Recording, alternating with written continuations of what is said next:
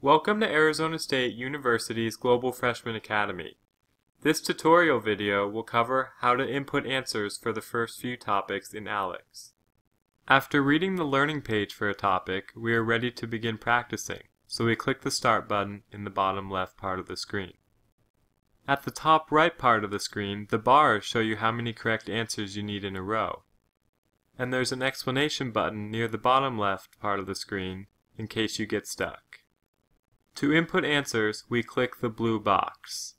And following the directions, we use our keyboard to input either less than, greater than, or equal to signs in each box.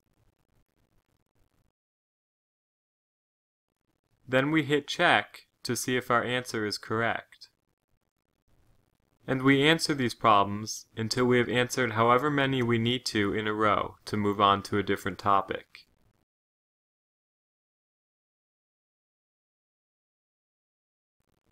We can click the arrow at the top left part of the screen to select different topics to work on.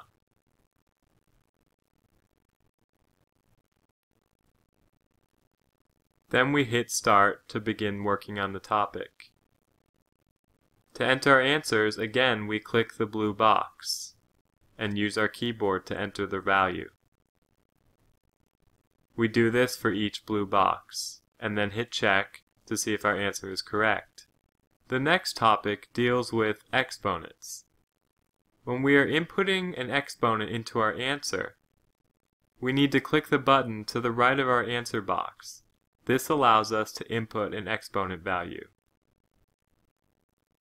Then we hit check to see if our answer is correct. This next topic teaches us about fractions. When inputting fractions, we have to click the button to the right of the answer box that has the fraction bar.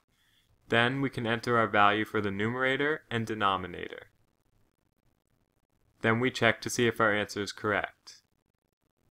One final topic deals with exponents again. The instructions say to write our answer without parentheses. Once again, our answer is going to include an exponent, so we click the button to the right of the answer box. This allows us to put in an exponent value. Then we click check to see if our answer is correct.